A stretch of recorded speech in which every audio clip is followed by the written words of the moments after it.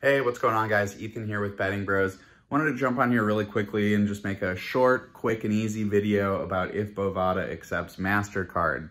Um, one of the two big major card holders, so I figure it's worth it to have this information out there for anyone that's looking to deposit money um, onto Bovada, into their Bovada account with a MasterCard. Um, before we get into it, want to let you quickly know there's some links down in the description to Bovada, the best bonuses, videos of me depositing, including with MasterCard, uh, playing and withdrawing. So go check those out if you're curious.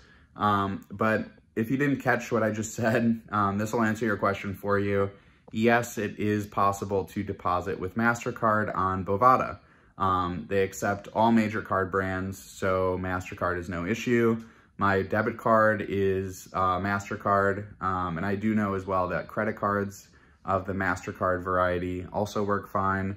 Um, so you're good to go there. Um, I have read of a few instances, um, and this hasn't happened to me personally, where banks have declined it, you know, thinking that maybe it's suspicious or something, um, like they kind of always do. Like if you vacation far away uh, or something like that, they might flag the transaction. All you got to do in that case, uh, from what I've read, is give them a call, let them know that like, yes, it's me, you know, I was trying to do that uh, and they'll push it through. Um, and the reason they probably do that is because Bovada um, is based in Costa Rica. So it's a charge that's, you know, coming from a Costa Rican company and they just, you know, if they're doing it, they're looking out for you basically. Um, but yes, in general, you should know MasterCard uh, it's good to go on Bovada. It works great. Um, and as far as depositing goes in general, I've never had any issues, guys.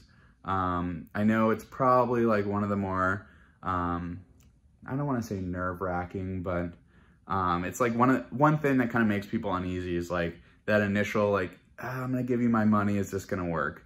Um, don't let that happen to you. I, I was I say that because I was like super super worried about it, and it ended up being fine.